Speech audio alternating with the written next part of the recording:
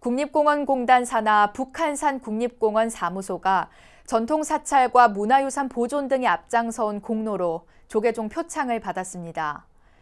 조계종 총무원장 원행 스님은 어제 한국불교 역사문화 기념관에서 박기현 북한산 국립공원 사무소장, 김상기 국립공원공단 탐방관리 이사 등의 예방을 받고 사무소의 표창패를 수여했습니다.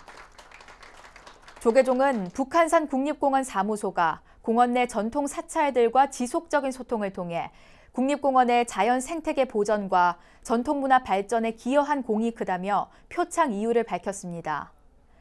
원행 스님은 북한산을 책임지는 입장에서 사무소 측이 북한산의 모든 사찰들에 대해서 많은 혜택과 관심을 가져줘서 정말 고맙다고 말했습니다.